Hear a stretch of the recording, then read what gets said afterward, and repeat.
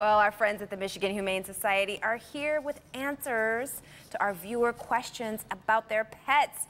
Welcome back, Dr. Kelley Meyers, a veterinarian with the Michigan Humane Society. Thank you for coming in. Oh, you're welcome. It's Love good to be having here. you. Oh, All right. Great.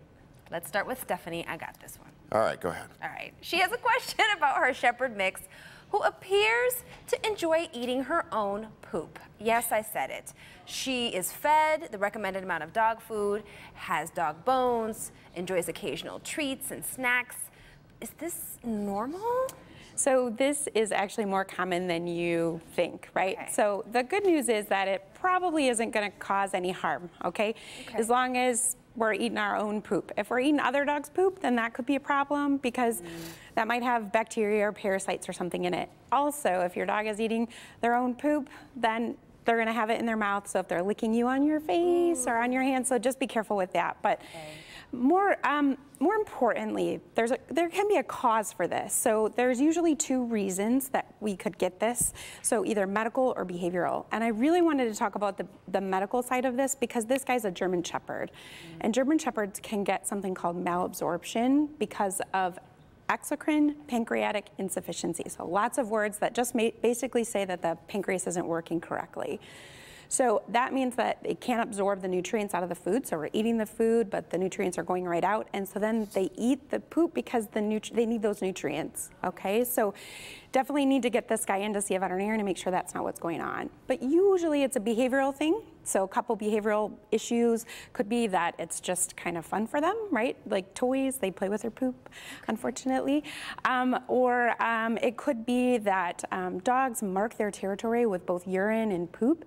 So they could be um, the opposite of marking their territory is that they have a fear of a predator in the area. So they might actually be eating their, their poops to, to get rid of that. Oh, Animal that was a- instinct. All right, show's over, folks. Move along. Nothing to see here. Exactly. Our next question is from Kimberly. Her seven-year-old cat named Boo doesn't have fleas, but is scratching herself so badly that her fur is falling out. Yeah, so last time we talked about hair falling out without itching. This time, this guy is absolutely itching. Sounds like it's not fleas, so we probably have allergies going on.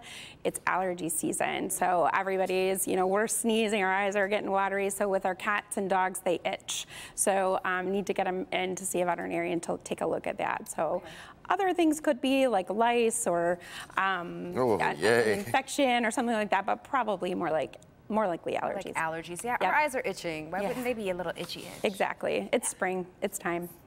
Well, our final question is from Nancy, who says that her 12 year old dog has arthritis. He's already taking Rimadyl and glucosamine and wonders if there is ways to learn, you know, doggy massages to help him further. Yeah, so arthritis is really frustrating for owners because it's so painful for dogs. And so the Rimadyl is a great start. That's going to help with the pain and inflammation. The glucosamine is going to help lube up the joints a little bit. What arthritis is, is when the cartilage starts to wear away and you have bone grinding on bone, and that's really painful.